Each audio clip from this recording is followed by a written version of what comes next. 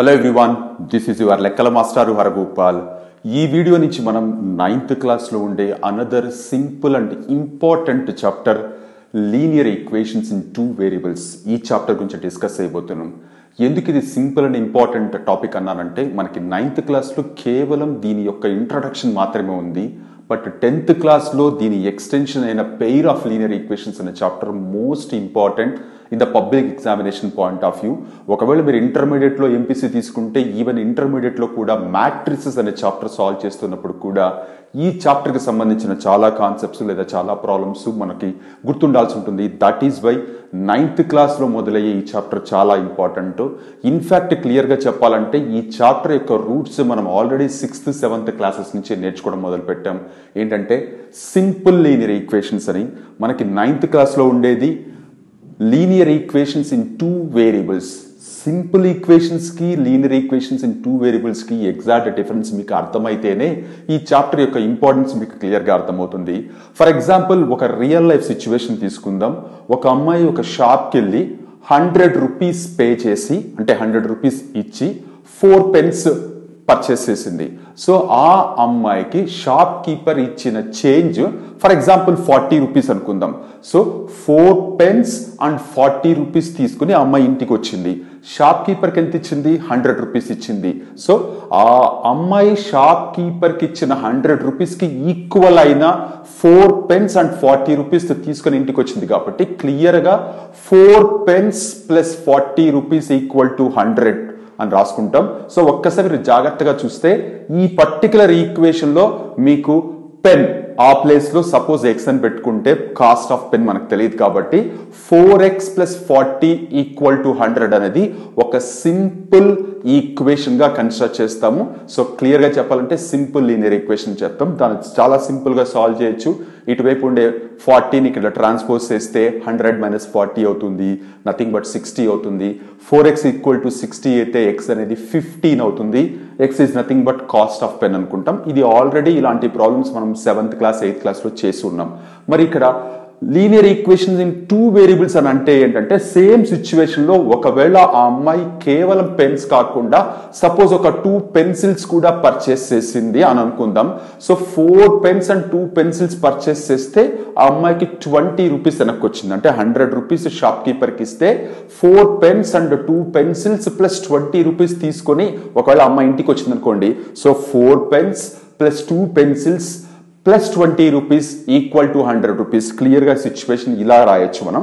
ఈ ట్వంటీని మనం అవతల ట్రాన్స్పోజ్ చేయడమో లేదంటే హండ్రెడ్ ఇతరులకి ట్రాన్స్పోజ్ చేయడమో చేయొచ్చు. ఒక్కసారి జాగ్రత్తగా ఈ పర్టికులర్ సిచ్యువేషన్లో మనకి ఫామ్ అయిన ఎక్స్ప్రెషన్ లేదా ఈక్వేషన్ జాగ్రత్తగా అబ్జర్వ్ చేస్తే క్లియర్గా ఫోర్ పెన్స్ అంటే పెన్ కాస్ట్ ఏంటో మనకి తెలియదు అలాగే టూ పెన్సిల్స్ పెన్సిల్ కాస్ట్ ఏంటో కూడా మనకి తెలియదు plus twenty rupees equal to hundred rupees అన్నాం. ఇక్కడ పెన్ కాస్ట్ని ఎక్స్ అనుకుందాం పెన్సిల్ కాస్ట్ని వై అనుకుంటే అప్పుడు మనకి four x plus two y plus twenty equal to hundred అవుతుంది. సో ఇలా ఏదైనా సిచ్యువేషన్లో మనకి తెలియని రెండు విషయాల్ని ఇంక్లూడ్ చేస్తూ ఒక ఈక్వేషన్ లేదా సమీకరణం రాయగలిగితే దాన్నే మనం linear equation in two variables అంటాం. ఇక్కడ లీనియర్ తెలుగులో అయితే రేఖీయ సమీకరణం ఎందుకు అంటామంటే మనం ఏదైతే చరరాశులు లేదా వేరియబుల్స్ తీసుకుంటున్నామో వాటి యొక్క పవర్ ఖచ్చితంగా వన్ ఉంటుంది. అలాంటి ఈక్వేషన్స్ని మనం లీనియర్ ఈక్వేషన్స్ అంటాం. పవర్ వన్ లేకపోతే ఏమవుతుంది అనేది మనం టెన్త్ క్లాస్లో మనకు వచ్చే వర్గ సమీకరణాలు ఘన సమీకరణాలు వీటి గురించి కూడా మనం డిస్కస్ చేద్దాం. ప్రస్తుతానికి linear equation in two variables అంటే పైన గాథాల్లో ఎలాంటి నెంబర్ లేకుండా కేవలం వన్ మాత్రమే ఉంటూ టూ వేరియబుల్స్ కనబడే ఈక్వేషన్ని మనం లీనియర్ ఈక్వేషన్ టూ వేరియబుల్స్ అంటాం. ఈ చాప్టర్ మనకి లీనియర్ ఈక్వేషన్స్ టూ వేరియబుల్స్లో ఇలాంటి ఈక్వేషన్స్ ఎలా ఉంటాయి మనం ఎలా అర్థం చేసుకుంటాం ఎలా సాల్వ్ చేస్తాం? వీటికి సంబంధించిన జనరల్ ప్రాబ్లమ్స్ అంటే రియల్ లైఫ్ ప్రాబ్లమ్స్ ఎలా సాల్వ్ చేస్తాం ఎక్సెట్రా ఎక్సెట్రా మనం డిస్కస్ చేయబోతున్నాం. సో ఇప్పుడు ఒక్కసారి జాగ్రత్తగా అసలు లీనియర్ ఈక్వేషన్స్ అనేది సాధారణ రూపం జనరల్ ఫామ్ ఎలా ఉంటుంది? ఇక్కడ జనరల్ ఫామ్ అంటే ఏంటంటే సపోజ్ ఫర్ ఎగ్జాంపుల్ ఒక మనిషి అనగానే మీ మైండ్లో ఒక తల రెండు చేతులు రెండు కాళ్ళు ఒక మొండం ఎలాగైతే ఇమాజిన్ చేసుకుంటారో అలాగే linear equation in two variables అనగానే అసలు మన మైండ్లోకి రావాల్సిన సాధారణ రూపం ఏంటంటే a x plus b y plus c equal equal to zero ఒక్కసారి మీరు జాగ్రత్తగా ఇక్కడ చూస్తే ఇక్కడ మనం రాసిన ఏబిసిలు ఏవైతే ఉన్నాయో అవి రియల్ నెంబర్స్గా కన్స్ట్రక్ట్ చేస్తాం. ఎక్స్ అండ్ వైలని మనం చరరాశులు వేరియబుల్స్గా చేస్తాము. సో ఇలా ఈ ఫామ్లో ఉండే ఈక్వేషన్నే మనం linear equation in two variables అని పిలుస్తుంటాం. మనం ఎలాంటి ఈక్వేషన్స్ తీసుకున్నా ఈ ఫామ్లోకి కన్వర్ట్ చేసిన తర్వాతే దీనికి సంబంధించిన ఎలాంటి క్యాలిక్యులేషన్స్ అయినా చేయాల్సి ఉంటుంది. For example three x plus seven y equal to twenty అన్నాను అనుకోండి. సో ఈక్వల్ టు ట్వంటీ ఉంది. మనం general form equal to zero ఉంది. అంటే మనం ఎలాంటి ఈక్వేషన్స్ ఇచ్చినా ఒకవైపు జీరో పెట్టుకోవాలని దీని అర్థం. సో ఇక్కడ ఉండే ట్వంటీ నిమితులకి ట్రాన్స్పోజ్ చేసుకుని ఇక్కడ పెట్టుకున్నాం అనుకోండి క్లియర్గా మనం కంపేర్ చేయొచ్చు. ఏ దగ్గర ఏముంది? ఏ ప్లేస్లో ఏముంది? లేదంటే ఎక్స్ కోఎఫిషియంట్ ఏముంది? వై కోఎఫిషియంట్ ఏముంది? సి కాన్స్టెంట్ టర్మ్ స్థిర రాశి అని అంటాం. ఇది ఏముందంటే క్లియర్గా కంపేర్ చేసి ఇక్కడ రాస్తాము. A equal to b equal to c equal అని. ఇది ఖచ్చితంగా మనకి ఈక్వేషన్ ఇచ్చినప్పుడు వాటిని కంపేర్ చేసి ఏ వాల్యూ అంటే ఎక్స్ కోఎఫిషియంట్ ఎంత వై కోఎఫిషియంట్ ఎంత కాన్స్టెంట్ టర్మ్ అంటే రాయడం ఖచ్చితంగా తెలియాలి. For example two x plus three y equal to seven అని అనుకోండి. ఈ సెవెన్ ట్రాన్స్పోజ్ చేస్తే two x plus three y minus seven అవుతుంది. So a equal to two అవుతుంది బి ఈక్వల్ టు త్రీ అవుతుంది c equal to minus seven అవుతుంది. ఈ particular చాప్టర్లో చాలా మంది చేసే మిస్టేక్ ఏంటంటే సైన్స్ మిస్టేక్ చేస్తూ ఉంటారు. ట్రాన్స్పోజ్ చేస్తున్నప్పుడు సైన్ చేంజ్ అవుతుందన్న విషయం మీరు పట్టించుకోకపోతే దానివల్ల చాలా ఎక్కువ నష్టం జరుగుతూ ఉంటుంది మనం ప్రాబ్లమ్స్ చేస్తున్నప్పుడు. ఇక్కడ కొన్నిసార్లు మనకి ఇచ్చిన ఈక్వేషన్స్ మా జాగ్రత్తగా అబ్జర్వ్ చేస్తే ఎక్స్ టర్మ్ కనబడుతుంది వై టర్మ్ కనబడుతుంది కాన్స్టెంట్ టర్మ్ స్థిర పదం కనబడుతుంది. ఇవి మూడు మనకి సాధారణ రూపంలో ఉన్నాయి. కొన్నిసార్లు మిమ్మల్ని కన్ఫ్యూజ్ చేయడానికి ఇచ్చిన ఈక్వేషన్ చూస్తే మీకు ఒక వేరియబులే కనబడుతుంది బట్ మనకి లీనియర్ ఈక్వేషన్స్ ఇన్ టూ వేరియబుల్స్లో ప్రాబ్లం లాగా మనం కన్సిడర్ చేయండి అంటారు. For example two x plus five equal to zero అని రాస్తున్నాను ఇక్కడ. Two x plus five equal to zero అసలు వై పదమే లేదు బట్ దీన్ని ఇలా కన్సిడర్ చేయాల్సి వచ్చినప్పుడు దీన్ని two x plus zero into y plus five equal to zero అని రాస్తున్నాను. సో ఇక్కడ ఎక్స్ యొక్క కోఎఫిషియంట్ క్లియర్గా కనబడుతుంది. వై కోఎఫిషియంట్ మాత్రం జీరోగా కన్సిడర్ చేస్తాం. ఇది చాలా ఇంపార్టెంట్ ఒకవేళ ఎక్స్ టర్మే లేకుండా మనకి కొన్నిసార్లు suppose two y minus seven equal to zero ఇలా ఇచ్చారనుకోండి సో ఇక్కడ ఎక్స్ పదం లేదు. ఆ ప్లేస్లో మనం జీరో ఇంటూ ఎక్స్ అని తీసుకుంటాము.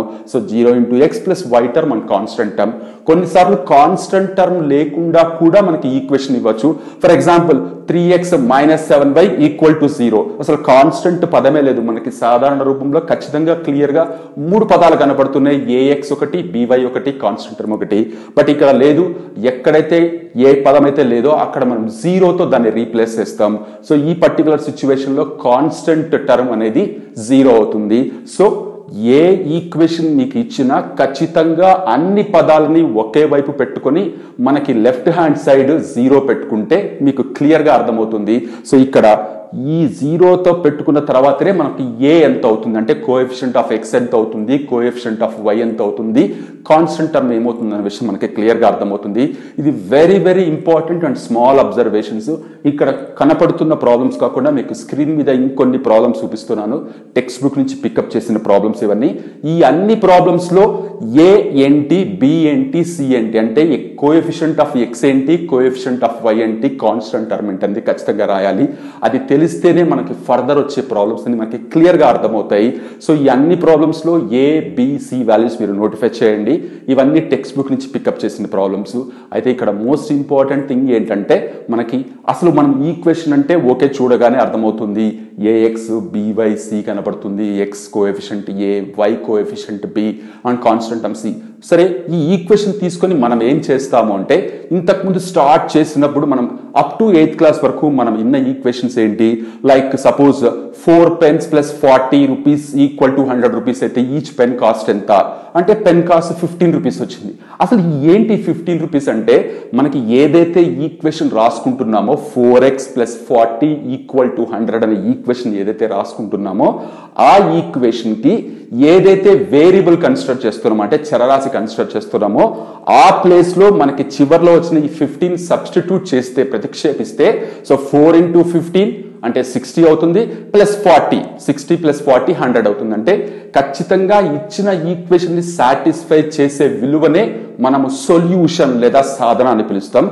సో సింపుల్ ఈక్వేషన్స్కి అప్ టు ఎయిత్ క్లాస్ వరకు మనం చాలా ప్రాబ్లమ్స్ చేస్తున్నాం. అన్నిటికీ ఏదో ఒక ఆన్సర్ వస్తుంది. బట్ ఇక్కడ మనం తీసుకునే linear equation in two variables రెండు చరరాశుల్లో లీనియర్ ఈక్వేషన్ రేఖీయ సమీకరణం ఏదైతే ఉందో ఏ ఈక్వేషన్ తీసుకున్నా సొల్యూషన్స్ ఎలా ఉంటాయన్నది కూడా మనం క్లియర్గా అర్థం చేసుకోవాల్సిన విషయము. టెన్త్ క్లాస్కి వచ్చేటప్పటికి మనకి టాపిక్ కొంచెం హై లెవెల్ వెళ్తుంది బట్ నైన్త్ క్లాస్లో మనం అర్థం చేసుకోవాల్సిన విషయం ఏంటంటే అసలు ఏ లీనియర్ ఈక్వేషన్ తీసుకున్నా ప్రతి లీనియర్ ఈక్వేషన్కి మనము కౌంట్ చేయలేనన్ని సొల్యూషన్స్ ఉంటాయి సాధనలు ఉంటాయి.